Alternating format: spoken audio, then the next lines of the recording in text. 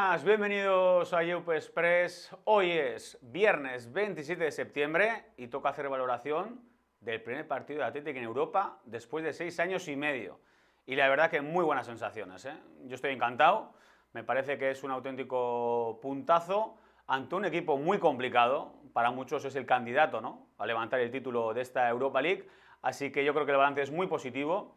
El equipo cuajó un buen partido Además no es fácil ante, insisto, un equipo con nombres, con campeones del mundo, gente que sabe cómo se juegan estos partidos. Solo hay que ver la trayectoria de la Roma estas últimas temporadas por Europa.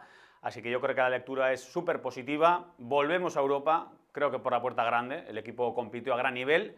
Eh, empañado, evidentemente, por esos cafres. Todo el mundo tiene cafres, nosotros también. Luego hablaremos de esas bengalas y ese espectáculo lamentable que cuajaron los que llevaban la Surigorri. Yo para mí no son atletisales, llevaban la Surigorri, pero ya no sé ni qué pensar. Eh, el club está tomando medidas, está ayudando precisamente para identificarlos, para sacarlos del fútbol, espero que sea así, porque esta lacra sobra el fútbol. Es lo más triste de ayer, sin duda alguna. Solo hay que ver a Ernesto Valverde, a De Marcos, a Iñaki Williams, increpando a esos cafres, diciéndoles que ya está bien, que esto es fútbol, que es una fiesta. Hay 3.000 almas que han ido a disfrutar a Roma arropar a los leones y tenemos que ver estos capítulos bochornosos. Lo peor lo dejaremos para luego y vamos a profundizar un poco en lo que fue el encuentro en sí, eh, en un partido en el que no empezó bien.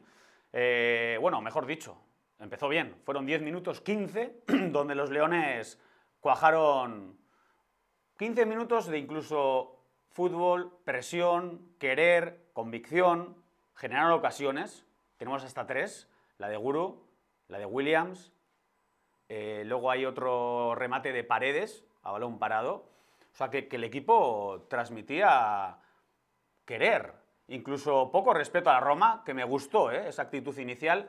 Luego yo creo que por dentro, Cone y compañía empiezan a poner orden, la Roma nos coge por dentro, ahí perdemos ya presencia, tanto Prados como Galarreta ya no llegan tanto a la presión, la Roma empieza a combinar gente muy buena, es que son muy buenos, eso está clarísimo llega ese tanto de Dovic, van de izquierda, Angeliño, vaya partido hizo también en el lateral, formado en el City, un trotamundos del fútbol y que ahora está a gran nivel, le puso un caramelo, Dovic a la red, buen testarazo, y al descanso 1-0, eh, pero sensaciones que estuvimos bastante dominados, sobre todo a partir del minuto 10-15, y yo puse esto al descanso, a ver si estáis de acuerdo con este tweet Arranque esperanzador con aproximaciones peligrosas, espejismo, dominio de la Roma y superioridad que provoca el primero. Esto es Europa, equipo potente que ha demostrado ser mejor de momento. Hay que recuperar, la fortaleza inicial por dentro. Hacen falta cambios, Guasen, Atleti. Y hubo cambios, hubo cambio de actitud. Para mí el Athletic salió incluso más atrevido, le quiso quitar el balón a la Roma, la Roma también repliega, eh, quizá el más puro estilo catenacho, más puro estilo italiano le vino mal, porque la Roma es que renuncia mucho al ataque. Yo creo que hasta ellos pensaban que el Athletic tampoco iba a generar en exceso. Cierran atrás, nos dan el balón y ahí sí que empezamos a generar peligro. No con ocasiones clarísimas, pero sí con presencia, sí con centros laterales, sí con buenas llegadas. El equipo empezaba ya a transmitir esa, esa confianza. Yo creo que es un punto de justicia porque el equipo creyó, el equipo fue y encontró el tanto en el minuto 85. Hubo cambios, como digo, eh, hubo sensación de que realmente el Athletic dijo, podemos con la Roma. Y esa es la mejor señal. El equipo cree, el equipo va y consigue ese punto eh, en extremis, minuto 85. Eh, incluso igual es un buen minuto para marcar, porque a lo mejor marcas antes y la Roma va por ti y te puede noquear pero hubo incluso un momento en que en Atleti con el empate hizo el amago de ir a por más, pero tranquilidad, reparto de puntos, nos damos la mano, todos contentos. Me parece que es un punto, como digo, muy bueno. Eh, carta de presentación positiva del Athletic eh, en un partido de mucho curro. Es un partido también muy físico. A veces eh, no nos damos cuenta de lo que hay delante. Y es un rival con físico, con oficio, con talento, con jugadores que tienen pegada. Físicamente un equipo súper exigente entonces yo creo que el equipo estuvo a muy buen nivel. Ahora, eso os parece, vamos a escuchar a los protagonistas. Vamos a Palabra de León.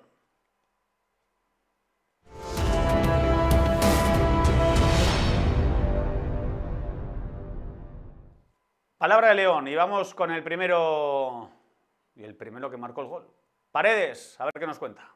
Sí, eh, en vez de celebrar como, como, deberíamos haber celebrado el gol, el empate, después de un partido tan difícil, pues ver que, que pasan estas cosas. Eh, los aficionados de nuestro club, un club que respetamos tanto y que debe dar ejemplo siempre en todos los lados, pues, pues un poco desagradable. Sí, la primera parte ha sido dura, eh, muy poca posesión, nos ha costado que salieran las cosas como las teníamos planeadas. La segunda parte hemos salido un poco mejor, no sé si ellos han bajado un poco también el nivel de presión y hemos podido conectar con el centro del campo, con extremos, eh, nos hemos encontrado más cómodos y, y bueno, pues al final en la estrategia, que es algo importante siempre y que desatasca partidos, pues hemos podido empatar y, y bueno, nos vamos con ese punto importante a casa.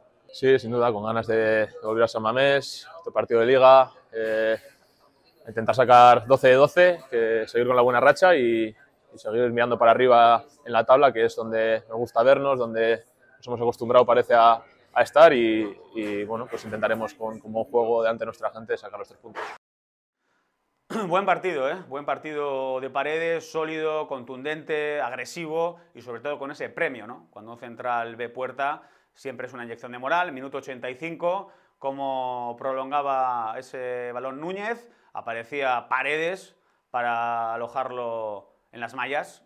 Delirio, locura rojiblanca. Algún amigo mío que estaba allí me comentaba que una pasada cuando anotaba ese empate en el 85 Paredes. Y buenas noticias, el central esta temporada también está enchufado y es fundamental. Y ahora vamos a escuchar a todos los protagonistas, que salió en la segunda parte y también se notó, porque Ander Herrera tiene eso, Ander Herrera tiene fútbol, Ander Herrera tiene visión de juego, Ander Herrera rompe líneas de pase, Ander Herrera, ojalá nos dé mucho, no está entrando demasiado esta temporada, pero no vamos a descubrirle. Ander Herrera al término del encuentro. Sí, eh, ya lo, es que ya está todo dicho, el capitán, los, eh, si no me equivoco ha sido Oscar que lo ha dicho, el entrenador también lo ha dicho, entonces tampoco quiero repetirlo 100 veces. Es triste porque nos encanta llevar a nuestra gente por Europa, que la gente se sienta orgullosa de nosotros, de representar nuestro club, nuestra filosofía tan bonita, tan especial, y por este tipo de cosas quizá un día prohíban viajar, y es una pena. Eh, pero bueno, vamos a intentar mirar la parte positiva, que ha sido la personalidad del equipo, las ganas de, de dejar nuestro sello en un campo impresionante contra un estadio lleno, contra un equipo fuerte, aspirante a todo, y bueno, contentos, pero es una pena que se enturbie un poco el, el buen hacer del equipo por, por, lo que ha sucedido. Con este formato de cambios, de cinco cambios, es que cambias la mitad del equipo. Es que es fundamental que la gente que esté en el banquillo lea el partido, esté atento a la charla, esté atento a lo que puede pasar, el, el que está en mi posición, los problemas que está teniendo o no en, en el partido, es clave. Y... Mmm, y bueno, eh, yo creo que las buenas temporadas, yo siempre lo he dicho, el año pasado ya lo dije también, es imposible hacer buenas temporadas con 12, 13, 14 jugadores. Al final hay momentos para todos, somos 20, 23, 22 futbolistas que en algún momento vamos a necesitar a todos y bueno, y, y también muestra yo creo que la humildad de cada jugador para estar en el banquillo preparado, para, para estar, como te decía, en la charla del entrenador atento, qué puede pasar, qué no puede pasar, eh, si, si me toca a mí salir y, como te digo, es un orgullo pertenecer a este grupo porque todo el mundo quiere sumar, aportar y... Ahí estaba Ander Herrera, evidentemente ensalzando lo que es la profundidad de banquillo, la plantilla, cuántas piernas entran y demuestran que pueden jugar en este Atleti. Eh, lo mejor, sin duda alguna, de este arranque de temporada es eso, ¿no? que Ernesto Valverde está rotando por el desgaste físico y sobre todo por el calendario imposible de aguantar que marca el fútbol, pero ahora, si os parece, vamos a ponernos serios. Eh, Real ha comentado. Vamos al rincón de pensar.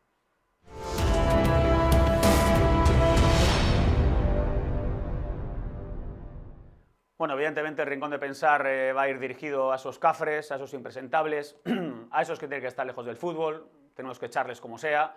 Sigo pensando que la mayoría están fichados, eh, son reincidentes, algunos no pueden entrar a los campos de fútbol y entran, entonces tan simple como ir a por ellos decirles que no queremos verles más y sacarles de este deporte, que es maravilloso, pero lo empañan ellos. Eh, el Atleti puso en un comunicado Agues de Agurestiloa, mostró tolerancia cero ante situaciones como la ocurrida en el Olímpico de Roma y que estaban trabajando con las autoridades competentes para identificar a los responsables. Ojalá estén identificados, ojalá sepan ya quiénes son, Ojalá no vuelvan a ningún estadio de fútbol y a ningún evento deportivo de nada.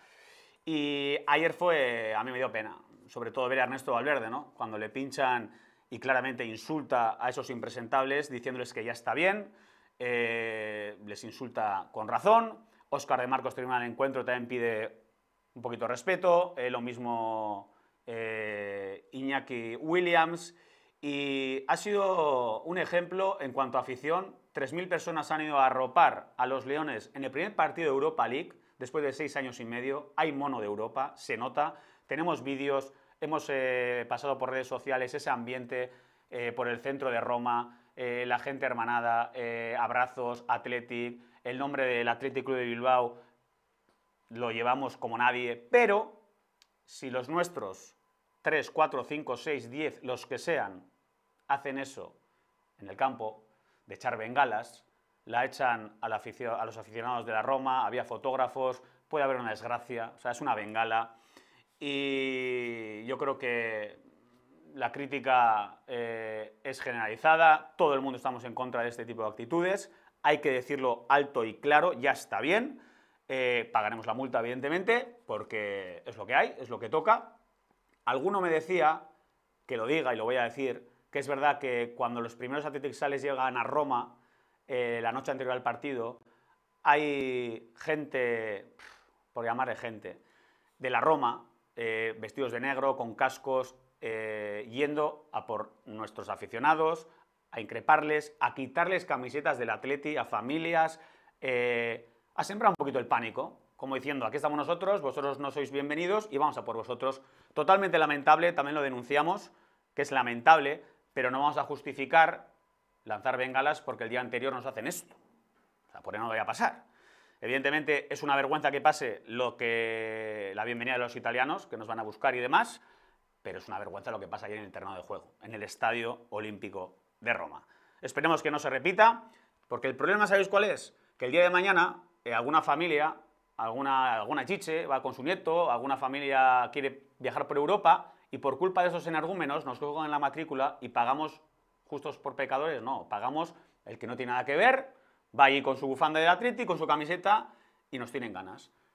Ojalá, ¿eh? de verdad, que no se vuelva a repetir. El club bien, el club tajante, comunicado claro, desmarcándose de esta gentuza y lo tienen fácil. Sigo diciéndole, si quieren, a por ellos. Y ojalá sea así vayamos a por ellos y fuera de este deporte que es maravilloso, y os lo estáis cargando, ¿eh? sí, porque este tipo de actitudes al final enfrían a la gente, te quitan las ganas de viajar y sobre todo estamos orgullosos del atleti. Decimos que somos diferentes, pues claro que no representan esta gentuza, pero llevan a su igorri, ¿eh?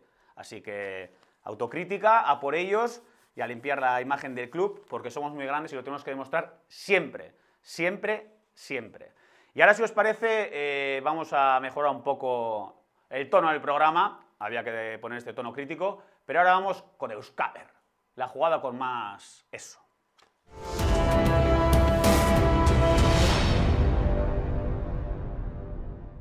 Y voy a quedarme con la jugada Euskaber, sin duda alguna, el gol. Ese gol en el minuto 85 de Aitor Paredes, la pone Berenguer, prolonga Núñez como un avión. Quiero también ensalzar a Núñez, qué bien va la disputa, tiene juego aéreo. El otro día también mandó un balón a, a Larguero en ese partido contra el Leganés eh, y casi anota al final. Y ayer qué bien la prolongación y entra pues otro todoterreno, que es Héctor Paredes, para anotar ese empate, minuto 85, ojo, empate muy trabajado, insisto, ante uno de los equipos candidatos hasta Europa League. Creo que es una carta de presentación buena del Athletic porque no es fácil ir a un campo tan exigente, después de tanta tralla de partidos, hubo cambios, algunos puntuales, eh, pero el equipo transmite. ¿eh? y que de verdad no es nada fácil hacer tantos cambios, tantos partidos seguidos y el equipo ya lleva tres, eh, tres, victorias consecutivas en liga, este puntito rico y hay que hacerlo muy bueno cambiando de competición en liga. Este próximo domingo 4 y cuarto el Atlético se enfrentará al Sevilla, ojalá sea la cuarta, ¿por qué no? La cuarta consecutiva no es nada fácil, ganar cuatro partidos eh, seguidos en liga, pero bueno, ahí está el objetivo, hay que ser eh, ambiciosos, estamos en la zona rica de la liga, ahí queríamos estar. Después de ese arranque un poco dubitativo en cuanto a puntos, el equipo ya está en la zona bonita, en la zona que queremos estar. Así que este domingo una nueva oportunidad para seguir entre los mejores de la liga. Domingo, 4 y cuarto, Sevilla. Y el lunes nos sentaremos aquí para contar eh, todo lo que ocurra, cuatro contertulios como siempre, hablaremos, analizaremos y luego el jueves esto no para, porque hay Europa League. El AZ Almar visita Sabamés, debutamos en Europa en casa, qué ganas tenemos también esos de jueves noche, Bilbao, Pozas, ambiente, todo lo que se respira en una noche de Europa, ya era hora así que vamos a disfrutarlo. Otro pero de este viaje a Roma, los que se quedaron en el Prat en Barcelona, casi 100 personas por problemas con los vuelos, les dijeron ir a Barcelona, se han quedado allí, algunos amigos y con tertulios también, como David Salinas Armendariz, eh, Josu Rodrigo, pues vaya faena. Te marchas allí, te dicen que vayas y luego para casa. Una pena, una pena que pasen estas cosas porque estaban muy ilusionados lógicamente con ver a nuestro Atleti, pero bueno, a recuperarse, al final eh, seguro que vamos a tener más opciones de Europa, pero sí, que es una faena. Y vamos a poner punto y final a este Express, segundo de la temporada, segundo con buenas sensaciones. El primero fue ganando en Liga, el segundo empatando en Europa ante la Roma, y la semana que viene ojalá sea hablando de la primera victoria del Atlético en Europa en Samamés. Cerramos eh, Express, el lunes os esperamos. Hasta entonces, que descansen, a disfrutar del fin de y como siempre, ¡Opa Atleti!